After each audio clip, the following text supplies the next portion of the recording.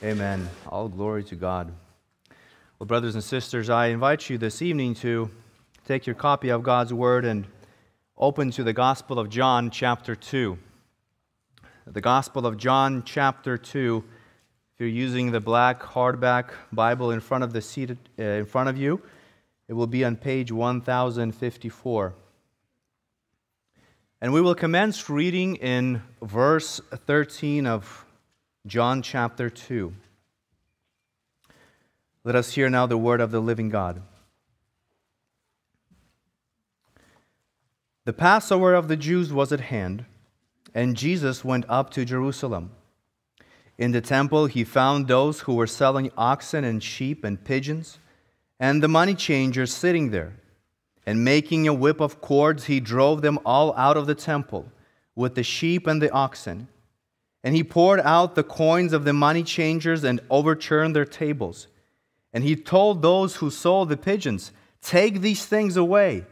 Do not make my father's house a house of trade. His disciples remembered that it was written, Zeal for your house will consume me. So the Jews said to him, What sign do you show us for doing these things? Jesus answered them, Destroy this temple, and in three days I will raise it up. The Jews then said, It had taken 46 years to build this temple, and will you raise it up in three days? But he was speaking about the temple of his body. When therefore he was raised from the dead, his disciples remembered that he had said this, and they believed the scripture and the word that Jesus had spoken. Now, when he was in Jerusalem at the Passover feast, many believed in his name when they saw the signs that he was doing. But Jesus, on his part, did not entrust himself to them, because he knew all people and needed no one to bear witness about men, for he himself knew what was in men. Amen. Thus far, the reading of God's inerrant word, and let us now seek his face in prayer. Our Heavenly Father, we come to you this evening and we thank you that you have given, this, given us this opportunity to gather together as your people to worship you in spirit and in truth. We thank you, Lord, for the peace that we can enjoy even now in these walls to worship you and to know your presence among us. And we do pray, Lord, that you would be among us. And as we seek to understand your word, that by your spirit, spirit you would enlighten our minds and our understanding, that we would be able to receive your word and obey your word as you have instructed it to us. Help us, Lord, now as we seek to understand. Give us hearts to receive. Give us wills to obey, that we would worship you and honor you even as the word of God is preached. We pray this in Christ's name. Amen. Well, in our passage this evening, we find our Lord Jesus Christ in Jerusalem. He is here at his first Passover feast. And the first thing we see him doing, as we read from verse 13, is cleanse the temple of all the defilement that was there.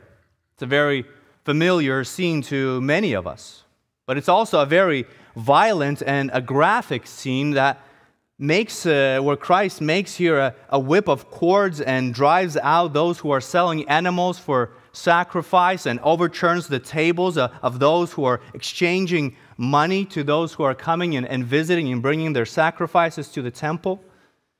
He says that the zeal of the Lord is consuming him as he seeks to cleanse the temple of the commercializing of what is the house of prayer. And after this uh, scene, there is a, another very familiar scene and event that takes place in John chapter 3. It's the story of Nicodemus. Most of you know that event as well. Jesus talks to Nicodemus, who comes to him by night and seeks to understand something of the power that he demonstrates in his miracles. But in between those two well known stories, the cleansing of the temple and the discourse with Nicodemus, the Apostle John makes an important commentary that joins those two narratives together. And it's found in verses 23 through 25. Now, when he was in Jerusalem at the Passover feast, many believed in his name when they saw the signs that he was doing. But Jesus, on his part, did not entrust himself to them, because he knew all people and needed no one to bear witness about man, for he himself knew what was in man. The title of the message this evening is Saving Faith. Now, we all know that salvation is by faith and faith alone. In the unmerited grace of God in the Lord Jesus Christ. We believe as John 3:16 says that God so loved the world that he gave his only son that all those who believe in him will not perish but have everlasting life. But the question we want to ask this evening is what is this faith that brings some, someone to salvation? What does it mean to believe in Jesus? John the evangelist tells the goal of his gospel account in, in John 20, 31, and he says that his goal is that you might believe that Jesus is Christ, the Son of God, and that believing you may have life in his name. And so it is absolutely vital for us to understand what it means to believe in such a way that would lead us to eternal life. Because at the very beginning, you hear at the gospel, in the Gospel of John, we see that there is a kind of faith that does not save. In fact, throughout the, the Gospel of John, you will find, and we'll look at many of the passages, this theme of saving faith runs all throughout. There are those who believe, but apparently their faith is not saving, it's not the real thing. Now, for some today, and really for many today, it's a really uncomfortable notion to think of a faith that really is not saving. People say faith is faith, and that's the end of that. Right? Any kind of self examination, any kind of discernment of whether your faith is genuine is often termed as legalism. And you will hear uh, many times, uh, every Lord's Day around our nation, preachers, pastors calling people to just believe in the Lord Jesus Christ, but never really going beyond that and explaining what it means to believe. What it means to believe in the Lord Jesus Christ. And how can we discern whether our faith is genuine? You see, it's often not what is said, but what is not said that exposes a, a compromised stance on the Word of God. But if you are to deal honestly with the Word of God, the inerrant word of God, you, you must recognize that again and again, this theme of saving and unsaving faith comes, comes up in the Word of God. And especially here in the Gospel of John. We see a faith that ultimately does not bring spiritual life. A faith that will ultimately not be accepted in the sight of God. In fact, notice in, in verse 24, where it is said when the many believe in Jesus, and Jesus responds, and it says that, but Jesus on his part did not entrust himself to them. Now, that word entrust is essentially the same root word that was used of the many people believing in Jesus. And so you could say that Jesus didn't believe their believing, or Jesus did not trust their trusting. So, why is it that Jesus did not entrust himself to these people?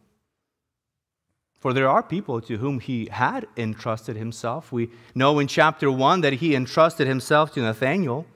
He says in verse 47 Behold, an Israelite, indeed, in whom there is no deceit. Jesus entrusted himself to Nathanael. Jesus entrusted himself to his disciples. He entrusted himself to the Samaritan woman at the well. And so, what would cause Christ not to entrust himself to these many people who, notice, believed in his name? Now, that's a very strong expression, isn't it? They did not just merely believe in the abstract, but it says they believed in his name. we will later read of the disciples casting out demons in his name and giving sight to the blind in his name. And even again, the, the Gospel of John, the goal is that by believing, John says, you may have life in his name.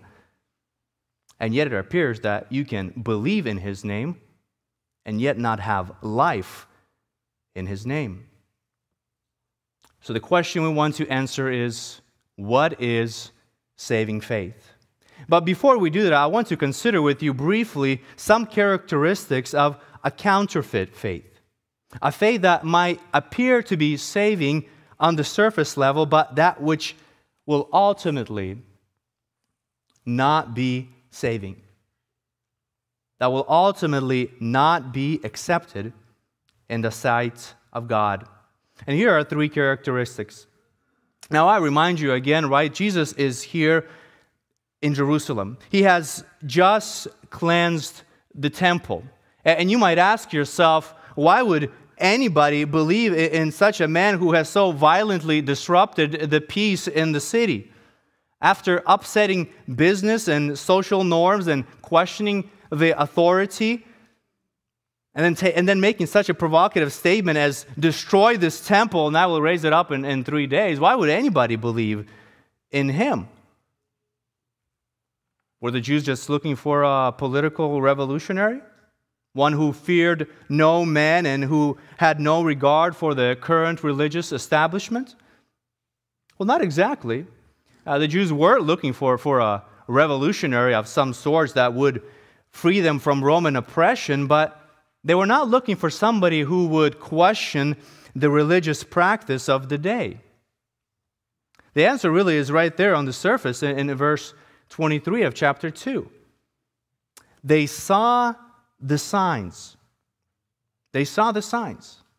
You see, a, a counterfeit faith is motivated by the spectacular or that which is external. We read in John chapter 6, verse 14, a very similar thing is said. When the people saw the signs that he had done, uh, that's the feeding of the 5,000, they said, This is indeed the prophet who is to come into the world. Or later in John 7 31, yet many of the people we read believed in him. And they said, When the Christ appears, will he not do more signs than this man has done? You see, they believed in him, but they did not believe in him as the Messiah, as the Christ. He was but a miracle worker for them. You see, people will always run after the spectacular.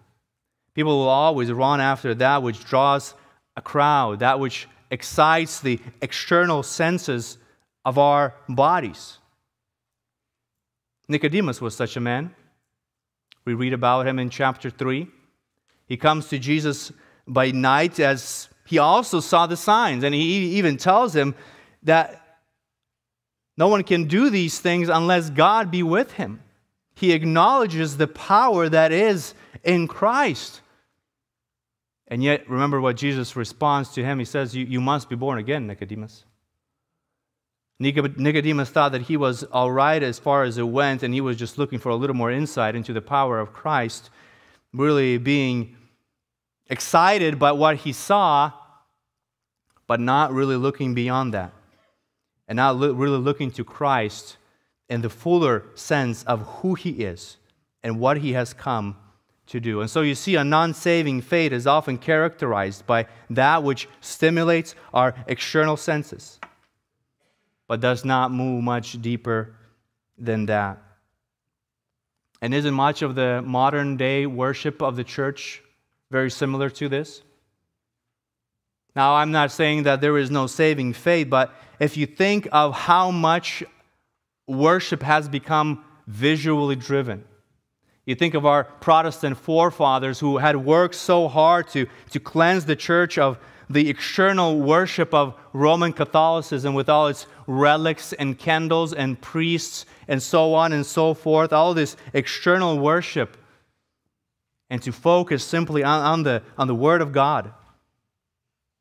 And yet, now, today, we see more and more worship being driven by, by the external, uh, by that which excites the eye, the ear, because that's what draws the crowd. That's what people want to hear. And so, a non saving faith, a counterfeit faith, is motivated by the external and the spectacular. But notice also, a non saving faith is oriented on the immediate benefits that Christ brings. What kind of signs did Jesus do? Well, largely, he was doing healings, he was casting out demons, he, he was healing massive crowds, or he was feeding massive crowds of people. He was bringing people real temporal relief. Right? We don't want to dismiss the signs. They were genuine signs from God to validate the ministry of our Lord. But the signs were never an end unto themselves. The signs were there to, to point to the greater message of the cross, to the person of Christ, who he is, what he is to accomplish. But, as is often the case, the benefits of Christ eclipse the person of Christ. And we see this among the Jews as well. They believed in him for the signs that he had done, the benefits that they could have received from him. Consider the Word of Faith movement today, very much characterized by this very same idea that God promises you health and wealth if you just have enough power or enough faith to unre- unleash that power of God. And so you have these revival meetings, and people come and they pray in earnest that God would give them power over their demons and over their sins and over their health and over their finances, and, and yet nothing comes of that. And yet they do not want a Christ who, who says that my power is made perfect in weakness. 2 Corinthians 12 9. And so in the final analysis, you see that they are desiring the power of Christ, the benefit of Christ but not the person of Christ.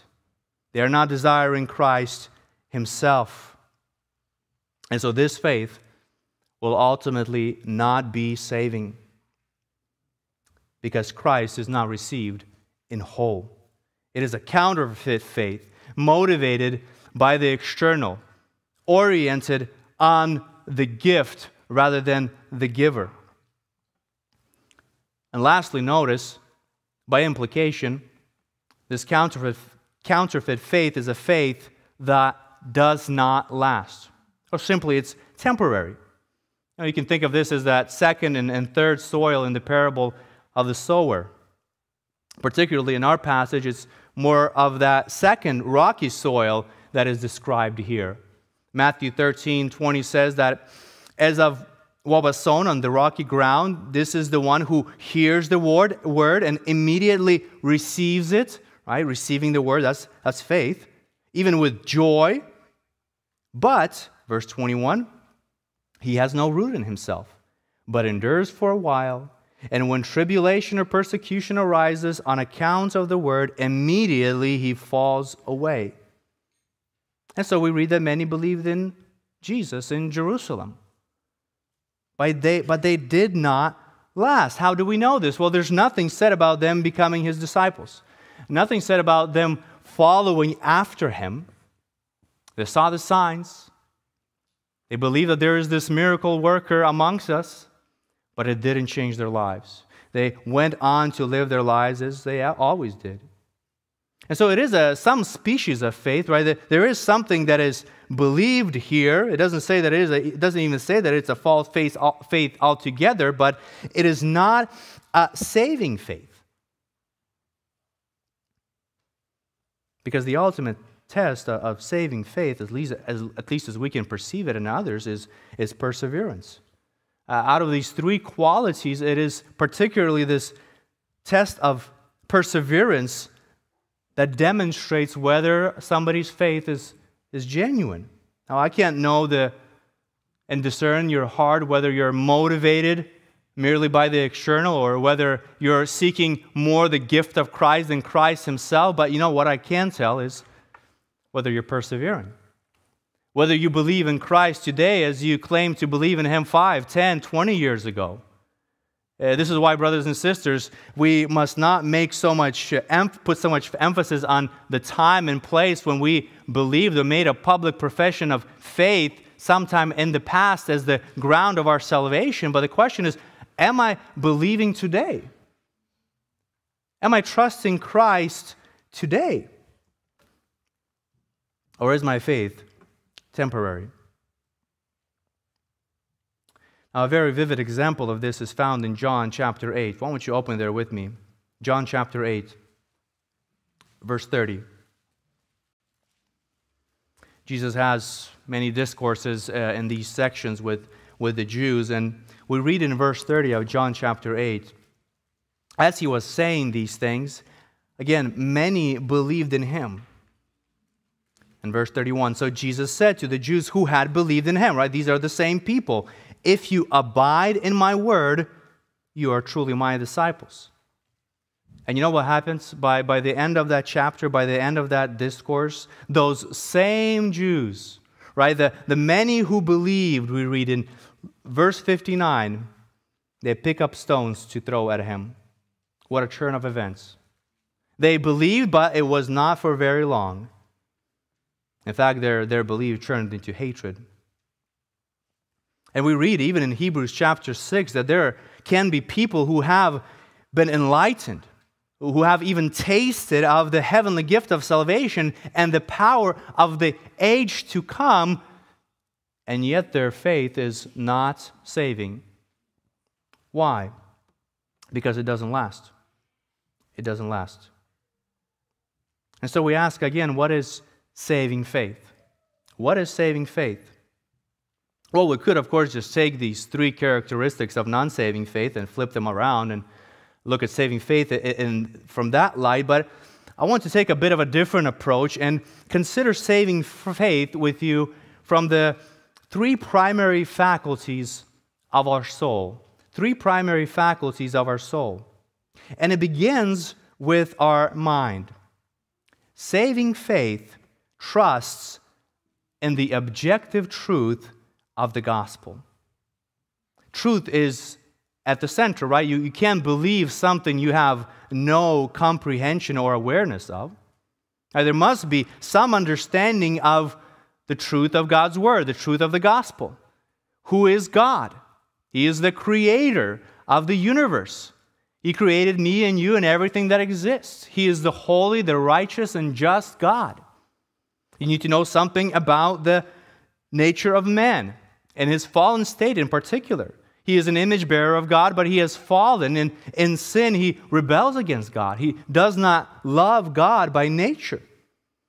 And then, of course, you need to know something about the person of Christ and, and the work of Christ. Who is he? What has he come to accomplish?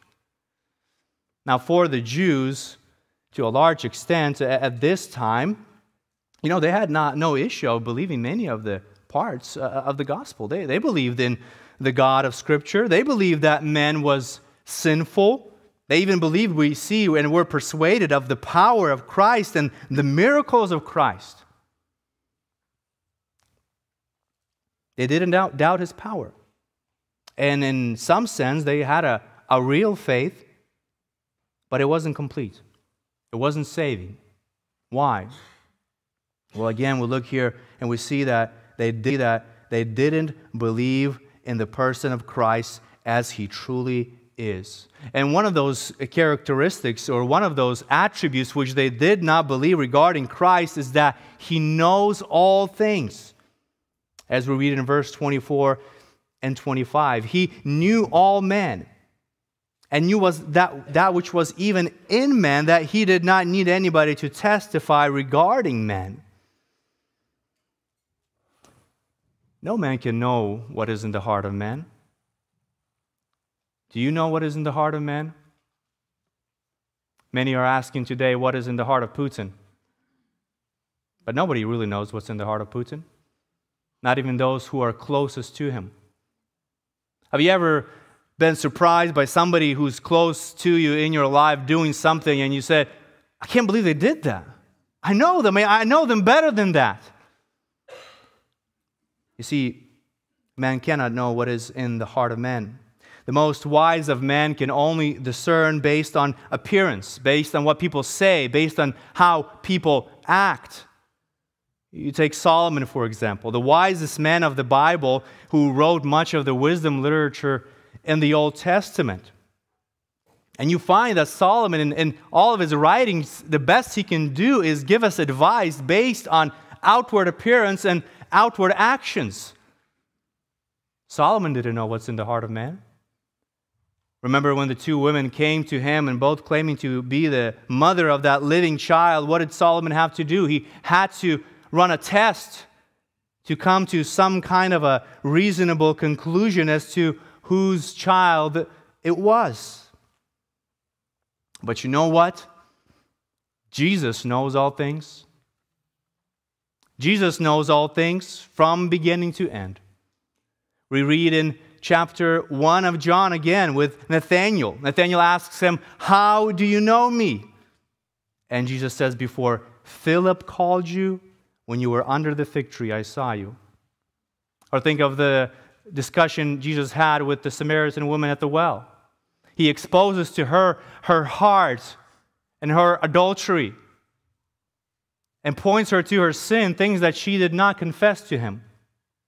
But of course, Jesus knows more than just certain events and time and, and history. Jesus, and only Jesus, as the God man, knows what is truly in the heart of man. He knows whether your faith is saving or not. He knows whether you truly believe in Him or not. And of course, this testifies of, of His divinity. Only God can know what is in man, only God is omniscient. And this is the Jesus in which, in whom we have to believe. Right? The Jesus who is revealed in Scripture to us as the one who knows all things. And, and we embrace this truth. Saving faith embraces this truth with the mind. I comprehend it, I understand it, I believe it. But beyond that, saving faith also embraces Christ with the heart. Not only must there be a, a mental assent to the truth of Scripture and the truth of the gospel, but there must be an internal love for Christ. The one who puts their trust in Christ is, is the one who finds Christ to be altogether lovely, altogether desirable. Now, this is, brothers and sisters, where we often fall short, I think, especially in our rationalistic 20th century, that especially is comfortable with speaking of, of things that are easily verifiable and uh, objectively provable. And this experiential aspect of the Christian life can get lost. This experiential dimension of saving faith can become la- lost. That's why we speak so often of justification, and we should, but maybe so little of regeneration which in fact precedes justification. You must be born again. Again, remember the, the discourse with Nicodemus in John chapter 3. Regeneration precedes faith. And only as you are born again, as you are given a new heart, can you place your faith in Christ. Before we were dead in our sins, we hated God, we hated Christ. We hated his word and his commandments. But when the Holy Spirit comes and enlightens our understanding and revives our hearts, what happens? We begin to love the things of God. We begin to love the things of Christ. The gospel not only makes sense to you, as you could comprehend that even before you're born again, uh, you can understand the gospel, but the gospel then has power over your lives this new life that the Spirit of God brings, brings within our hearts a love for Christ, a desire for Him. So that when we repent and when we place our faith in Christ, that faith is driven by love for Christ. You know the difference between trust and love? Well, in one sense, trust is, is something that is more cognitive, right? You, you heard the truth and you trust that it is accurate and reliable. But love is something that has more to do with our affections and our desires. We, we trust Christ and we lay hold of Christ by faith when we trust Him with our minds, yes, but we also lay hold of Christ by love in our hearts when we look to Him as the one who is desirable to our souls, the one who really satisfies the desires of our hearts, our renewed hearts. Romans 5 5 says, Hope does not put us to shame because God's love has been poured out into our hearts through the Holy Spirit who has been given to us. You see, God's love is poured out into our hearts, and we are made new creatures in Christ, and because of that, we can love. We've known something of God's love, and therefore we too can love. Or consider Romans 8 28, very familiar to most of us. And we know that for those who what? Trust God? No, it says, for those who love God, all things work together for good. It is not to dismiss trust, right? But notice when these words are used. Notice how love is used. Notice how trust is used. 1 Corinthians 2 9. But as it is written, what no eye has seen, no ear has heard, nor the heart of man imagined, what God has prepared for those who love him. In 1 Corinthians 8 3, but if anyone loves God, he is known by God. You see, saving faith has this and must have this experiential dimension. There is this affection for Christ Himself. It's not just an intellectual trust in certain propositional truths. There is a love for God, a love for Christ. Consider James 1:12. Here, James speaks of life that is given to those who love God. Again, blessed is the man who remains steadfast under trial, for when he has stood the test, who has stood the test, he will receive the crown of life, which God has promised to those who love him. The crown of life. This is the same idea as John speaks of the life that is given in his name to those who love God to those who love Christ. Wholehearted devotion to the Lord Jesus Christ. I think of Ruth as she clung to Naomi. She said, Your people will be my people. Your God will be my God. She's willing to give up all because of the God of Israel, the true God of Scripture. And notice, it's not just a, a love, again, for the truth of Scripture. It's not just a, love for, for certain um, propositions or doctrines of Scripture, or the harmony of Scripture as a whole, or Christian tradition, or, or the Christian way of life. No, it's, it's a love for Christ Himself, a love for, for God Himself, in all of His offices, in all of His precepts, a love for Christ. Here's how the Apostle Paul describes it and, and prays for the church in, in Ephesians chapter 3, verse 17. He prays that, our, that Christ may dwell in your hearts through faith, that you, being rooted and grounded in love, may have strength to comprehend with all the saints what is the breadth and length and height and depth, and to know the love of Christ that surpasses knowledge. The love of God, the love of Christ has been shed abroad within our hearts.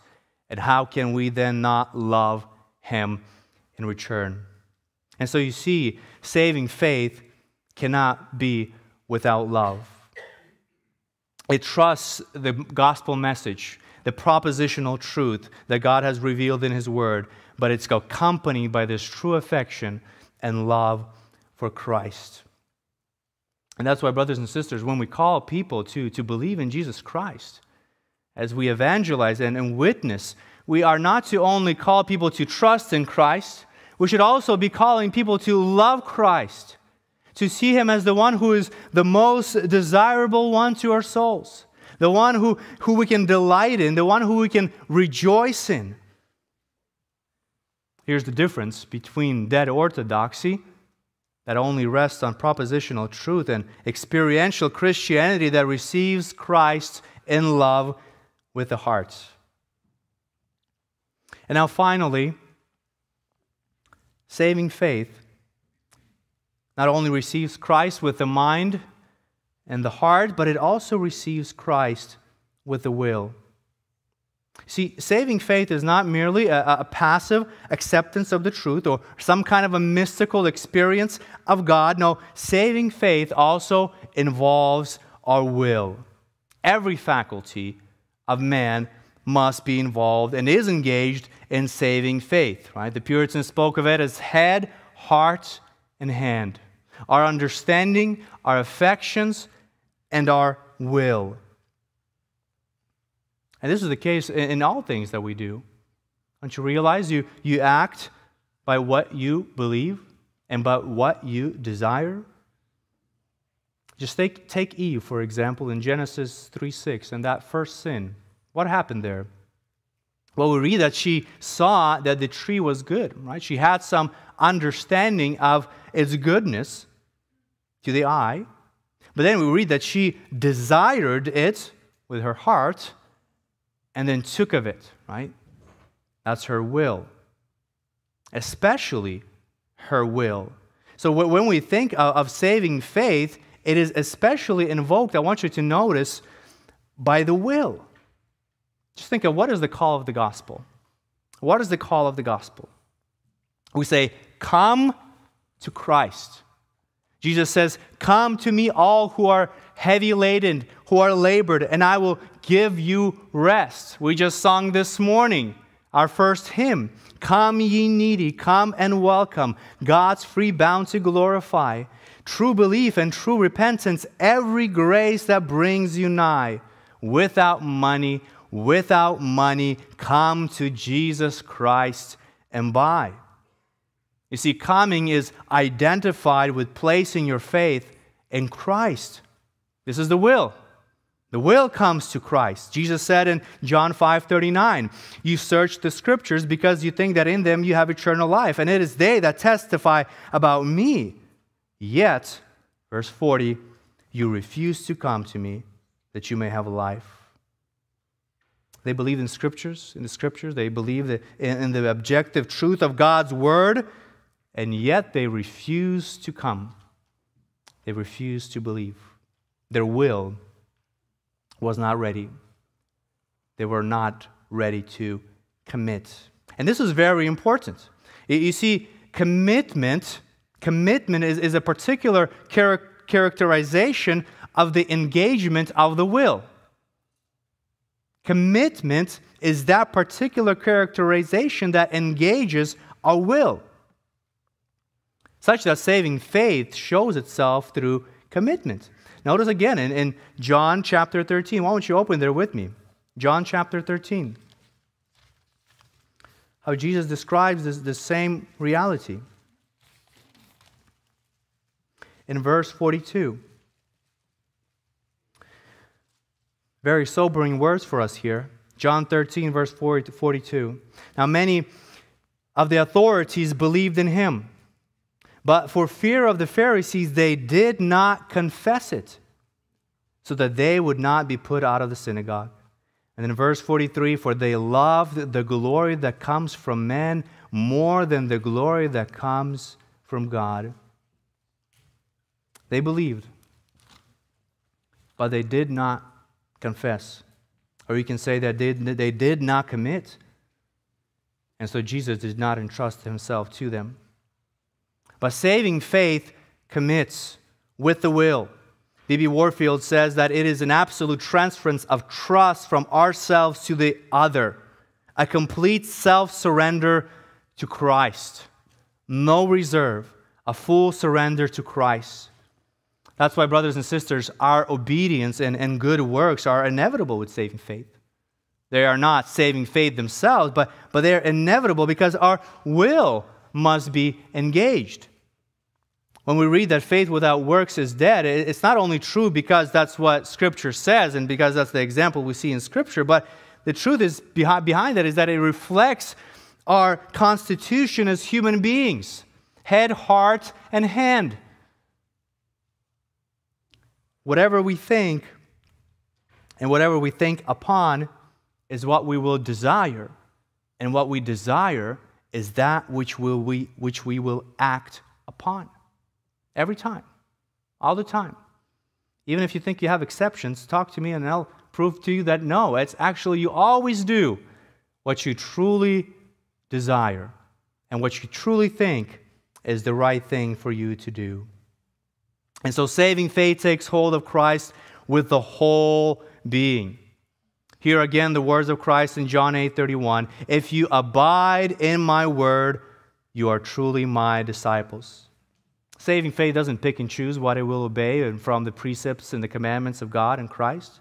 No, it, in humility, it receives with joy all that Christ is and all that he reveals to us that we are to obey and how we are to live. This is why, brothers and sisters, we, we should pause know, oftentimes we're, we're so could be so anxious when we hear a, a, new profession of faith to, to dub that person as a true believer, not giving it time to realize itself and the fruit that comes out of that life. Here's what Whitefield, Whitefield said. He says, This makes me cautious now. This, this reality that there must be fruit, which was not, which I was not 30 years ago of dubbing converts too soon. I love now to wait a little and see if people bring forth fruit. For there are so many blossoms with March winds that are blown away that I cannot believe they are converts till I see fruit brought back. It will never do a sincere soul any harm to wait. And, brothers and sisters, this is one of the ways that we can know that ultimately Nicodemus did possess saving faith. How so? Well, because his, his actions showed it. He was the one who was willing to take a stance for Christ in, in, the most dangerous and the least popular of times. And he was the one who was willing to, to pay great money to anoint his body for, for burial. That is, that is the fruit of, of a saving faith. And it engages our will.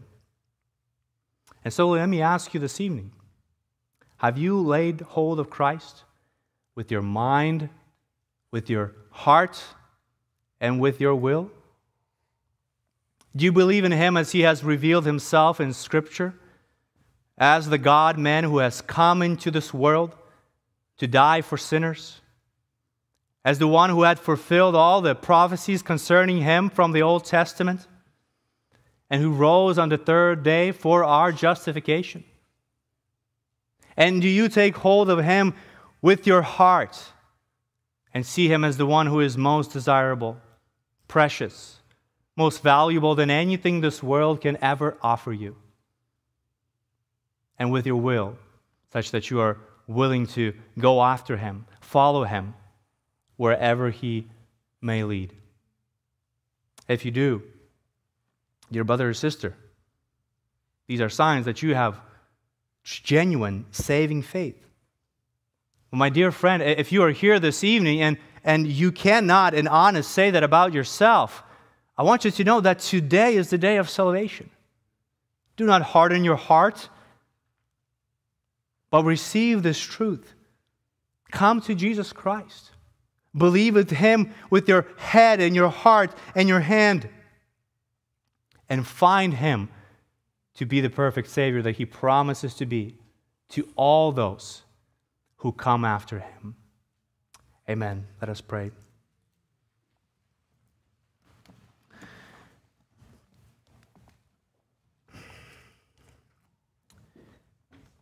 Our Father,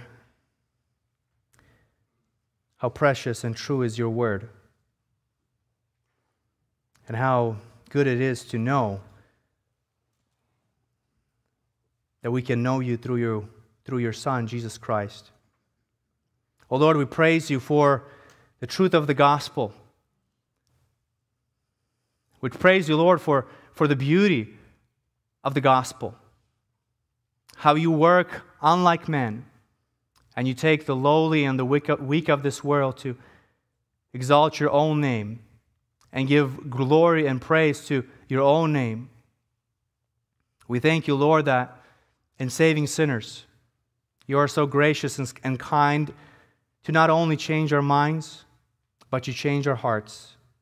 and change our, change our affections, change our desires to love Christ, to desire Christ, to worship Christ, and to live for Christ. We thank you for the new heart that you give us to, to live in obedience according to your word. And yet, Lord, we, we do confess that so often we lose sight of this great truth and we can disobey. And with our affections, we can stray and, and look for other things. And with our minds, think upon other things. Oh Lord, forgive us. Renew in us a, a new hope, a new trust, a new love for the Savior. And we pray, Lord, for the unconverted, those who are still lost and perishing, maybe those who are living with a false perception of faith even tonight, that you would convict their hearts, eh, that you would open their minds to receive Christ in his fullness, receive Christ with their understanding, with their hearts, and with their wills. And help us, Lord, as we go to our places, our, our places of work, our homes, that as we seek to bear, bear witness of Christ, that we would truly present Him in His fullness, in His beauty, and in His power. We pray all this in His lovely and wonderful name. Amen.